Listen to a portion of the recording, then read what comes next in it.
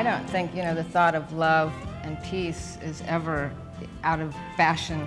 Um, of course, I've had to deal with, you know, people say, well, there always has been war, there always will be war. You can't stop that. Um, that doesn't mean you can't work towards your ideal. Give me love, give me love, give me peace on earth, give me light, give me life. An ideal. That's what some people think of world peace. It's just an abstract concept, impossible to achieve. However, Tucson artist Katherine Josten believes dreams, even global ones, come true when people work together. That's why she started the Global Art Project in 1994. The project facilitates the free exchange of artwork by adults and children, professionals and amateurs alike, created to express a vision of global harmony, crossing all borders, real and imagined. We match individuals to individuals and groups to groups. And in March, each participant creates a work of art expressing their vision of global unity.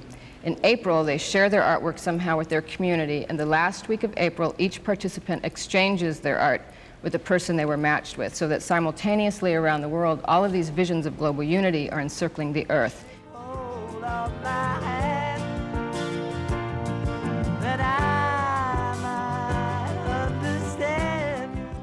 The first exhibition of the Global Art Project, held at the Tucson Museum of Art, contains only a few pieces of original work, because the art, of course, goes to the participants. However, letters, photographs, copies of the work, and gleeful streamers of hands, the outlined hands of artists from the 1998 exchange, form a colorful installation of international goodwill. A little boy in Massachusetts sent a letter that I think really expresses the idea of why we see people, you know, the image of people holding hands over and over. He says, I drew a picture of the earth and then a bunch of different types of people short, tall, white, black, holding hands around the world. Holding hands is a sign of peace. People can't fight if they're holding hands. So I think that beautifully expresses why we see so many of the images um, of people holding hands. And I think also why people get into um, creating all the hands that they send in. When I send out the flyer for them to create the hands, uh, I titled it "Let's All Join Hands," and I think it, you know it's a very symbolic way of showing that by doing the Global Art Project, all their energy is coming together, and it's a form, a symbolic form of all holding hands.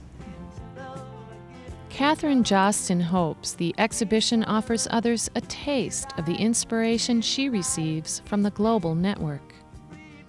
This artwork is from um, a group of, um, a youth group in Sarajevo, Bosnia. It says, don't forget what happened to us and don't let the same thing happen to you.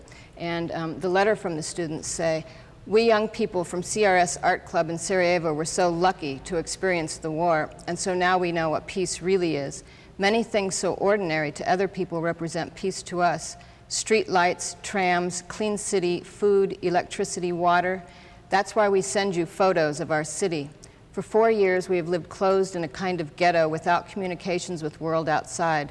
So we tried to show you at least a bit of what our everyday life is. We would be happy if you write us back. And then they all signed the letter.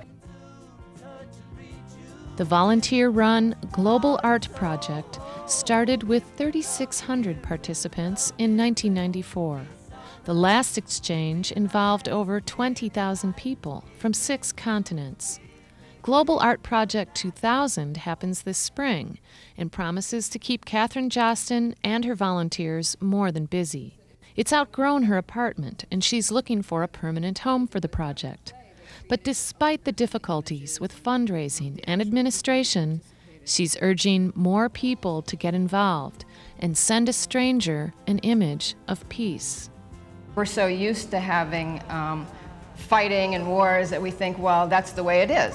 It always has been that way, it always will be that way, but I don't think that needs to be the future. I think that we can take that evolutionary leap and imagine, hey, what would happen if we all lived in harmony, if we all lived in cooperation.